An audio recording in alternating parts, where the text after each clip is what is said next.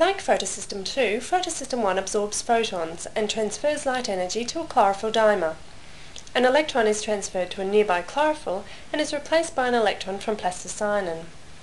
The electron transport from the chlorophyll to a phylloquinone and three iron-sulfur clusters leads to reduction of ferredoxin. Reduced ferredoxin then diffuses to a ferredoxin NADP reductase on the thylakoid membrane where NADP plus is reduced.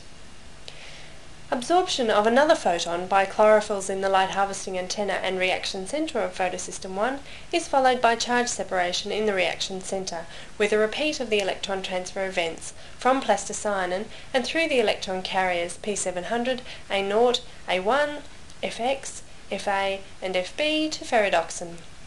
Reduced ferredoxin transfers a second electron to NADP which then accepts a hydrogen ion from the stroma Reduced NADPH is released into the stroma and provides reducing power for anabolic reactions.